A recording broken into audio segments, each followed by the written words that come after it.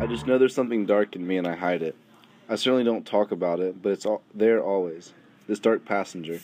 And when he's driving, I feel alive, half sick with the thrill of complete wrongness. I don't fight him, I don't want to. He's all I've got. When I was a child, I was like everyone else a beaming baby boy whose father told him that he could do anything he wants a president, an astronaut, but what he forgot to mention was the only one thing that I actually was. Jeffrey Lionel Dahmer was born on May 21, 1960, at 4:34 p.m. at the Evangelical Deaconess Hospital in Milwaukee, Wisconsin. He lived with his parents, Lionel and Joyce Dahmer. I had been working very long hours in the laboratory as a chemist, while my wife spent her days as a teletype instructor. Like any married couple, we got into fights, but ours were brutal and frequent. Because of our constant arguing, our attention to Jeffrey was at minimal, and I often blamed myself for favoring David. My parents were a couple promised for divorce. Mother gave birth to David in 1966. He was what they called the favorite. After his birth, we moved to Bath Township, Ohio. By the age of 10, Dahmer was experimenting with dead animals. He had decapitated rodents, bleached chicken bones with acid, and had even nailed a dog's carcass to a tree. At the age of 13 and 14, Jeffrey had had a clear obsession with violence, and I, as his father, left this as a secret. I think any father would do this. I mean, who wants to admit to the world that his son, his own blood, is out in the yard killing the neighborhood pets? In his early teens, I noticed that Jeffrey had become increasingly insular. His attitude went from jubilant and curious to close minded. I went to Revere High School in Richfield, Ohio, the year of 1974. This is when I admitted my homosexuality. I was not afraid of what people thought. I liked males, just like I liked my alcohol. It was my escape, my friend, my protector from the evil. During Dahmer's senior year of high school, Lionel and Joyce's poisonous marriage came to an end. After my parents' divorce, I enrolled in Ohio State University, which only lasted for two terms. School just wasn't for me. I had better ways to spend my time. These better ways of spending time were rather gruesome, but Dahmer deemed them as fulfilling and meaningful. My first blood. After a successful blow to the head, I released my grip on the barbell. Hicks fell straight to the ground. His panicking breath slowed and he released his very last exhale. The forest was deathly silent. With a shrill knife in one hand and a plastic bag in the other, I began with his feet and sliced his body, one part at a time. The warm blood ran between my fingers as I pulled apart his flesh and bone. I placed the bloody, dismembered body into a bag and carried the remains behind my father's house. I dug a hole and buried what I had done. Why didn't he listen to me? I told him not to go. He is mine now and forever he is to stay. My urge to kill was still not satisfied. After Jeffrey came back from dropping out of school, I told him, Son, I'm giving you an ultimatum. Either you find employment or you enroll in the army. I was discharged just as quickly as I had joined.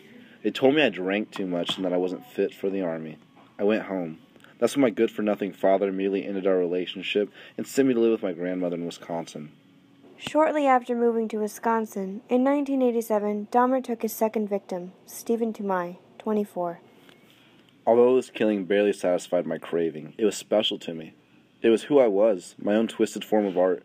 When I had to control a person, they were my canvas. As I cut, sliced, and pierced into their skin, the red blood oozed and squirted, enhancing my beautiful creation. Mutilating and dismembering their bodies like sculptures gave me the satisfaction of having a finished product. And just as some art is misunderstood and misinterpreted, so was I. Dahmer's twisted form of serialism included feeding his victims alcohol laced with drugs, strangling the victim to death, having sex with the corpses, masturbating on top of them, dismembering their bodies, and keeping their skulls and genitals as trophies. Meanwhile, Dahmer's grandmother, Catherine, was oblivious to the excitement in her basement. She had had enough of his alcoholism and drunkenness and sent him to live on his own. It was 1988 and I had my own apartment. 24 North 25th Street, apartment 213. My vindictive practices could be finally private, without interruptions. After moving here, I began to expand and explore different methods of killing. One of my favorite methods includes drilling holes into my victims' heads and plunging muriatic acid into their skulls. They gave me total control and increased the sexual thrill. I could I not imagine how he had become such a ruined soul. And for the first time, I, I no longer believed that my efforts and resources alone would be enough to save my son. There was something missing in Jeff. We call it a conscience that had either died or had never been alive in the first place. They say I have a lust for murder, love sex and violence, but I don't think that's the case.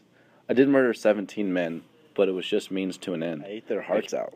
I believe it was for my own nutritional replenishment, and I needed to re- fortify myself with iron and vitamins. I felt some type of shared tragedy with the victims, and I desired to identify with the victim, to be one with them, to share their fate. Jeffrey Dahmer's selfish lifestyle can be exemplified through his cannibalistic nature and his lustful practices of necrophilia. Early in life, I drank blood from vials.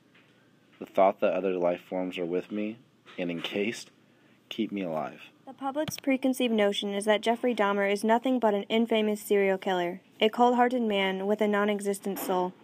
That Dahmer has lived in his own world of solitary, committing murders of innocent victims and seeing nothing ethically wrong with his behavior. I am betrayed, lonely. I needed a presence in my life. I needed a human to linger around to make me feel loved. I wanted a promise to stay. When I killed him, I encompassed a sense of power and compassion of another person that I had never felt before.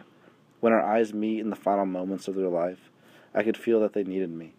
Even if they were begging me to spare their lives, for once in my life, I was important to someone.